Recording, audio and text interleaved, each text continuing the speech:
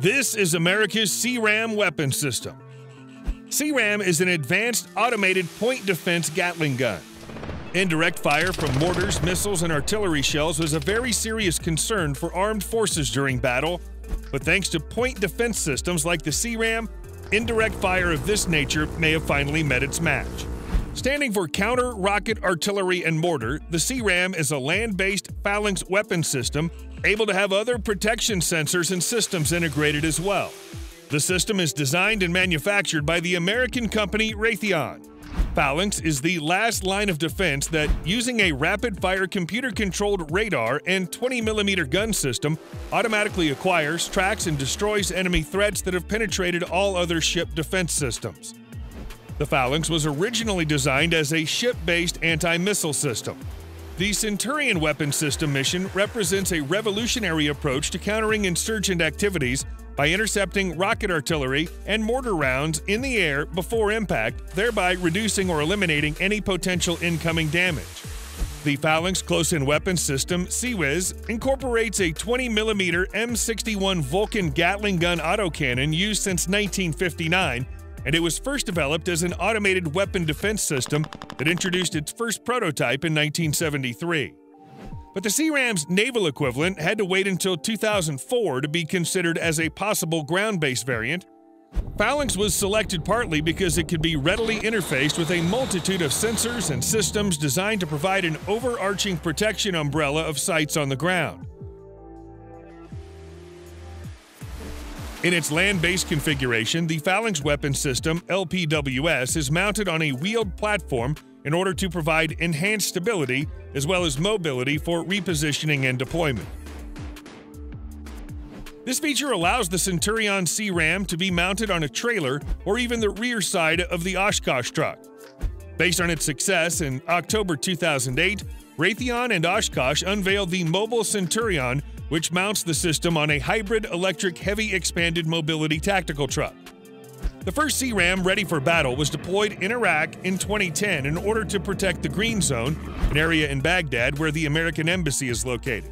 After the test, the system showed itself capable of knocking out 70 to 80% of all the rockets and mortar shells fired within its area of control.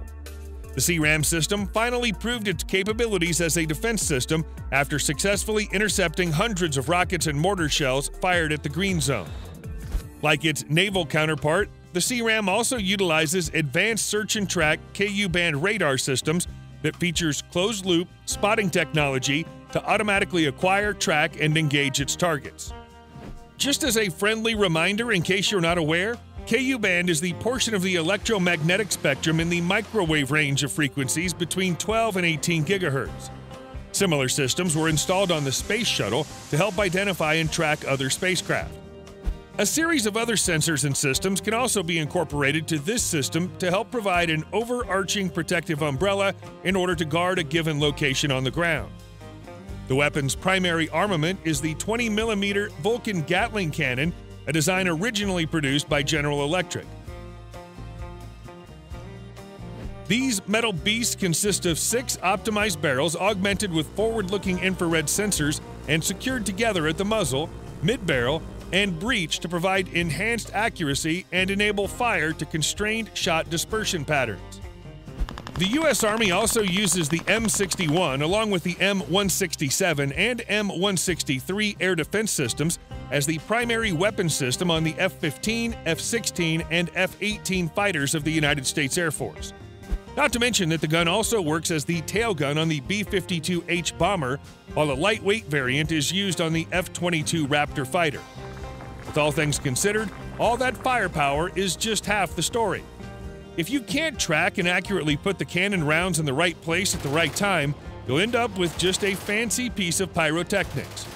To properly set up this kind of weapon, they'd have to use a combination of advanced sensors that enable the CRAMs to simultaneously search, track, engage incoming targets, prioritize them, and make kill assessments in both daytime and nighttime.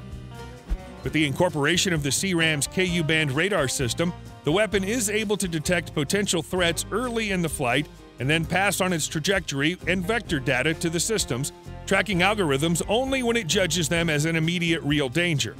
This tracking and engagement feature is further enhanced by a sophisticated thermal imaging system to help improve its targeting.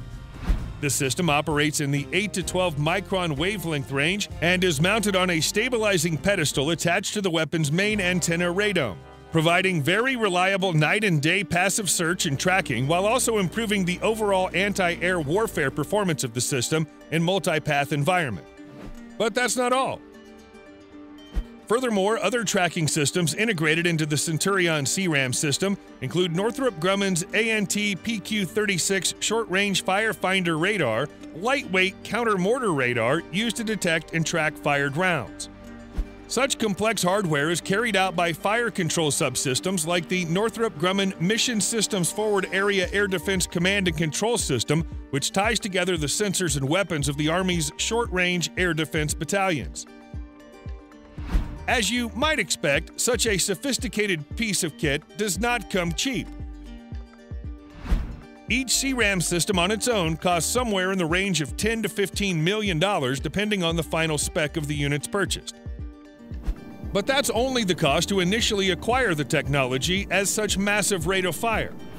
With such a massive rate of fire, this unit literally burns through bullets, meaning that depending on the number of munitions spent, a typical engagement with only a single missile could cost about 30 to $60,000.